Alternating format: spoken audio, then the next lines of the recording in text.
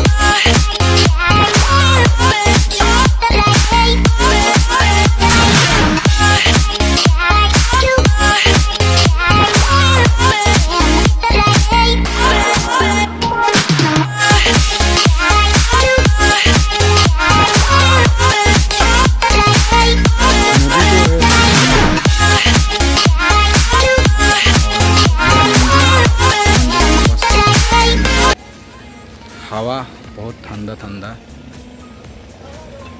और ये गाड़ी पार्किंग मंदिर के लिए गाड़ी पार्किंग।